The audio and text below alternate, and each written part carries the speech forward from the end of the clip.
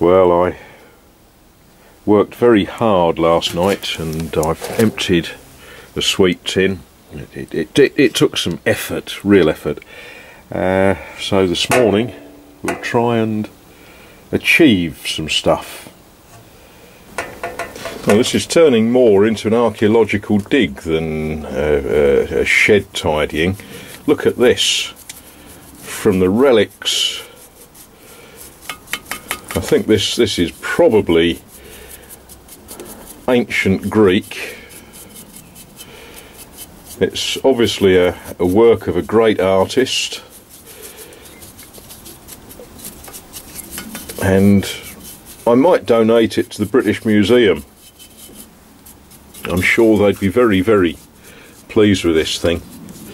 This was uh, something that was fixed to the wall of the uh, the back of the house when the house was acquired and it's sufficiently horrible that it came off.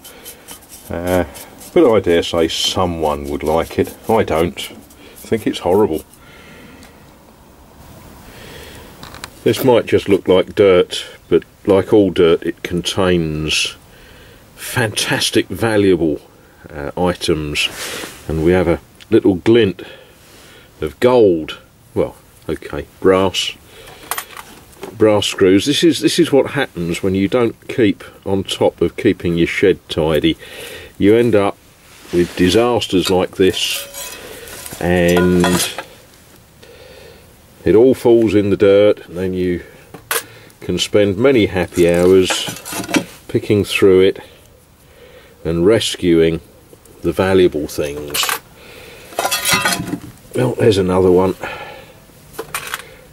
I could be here sometime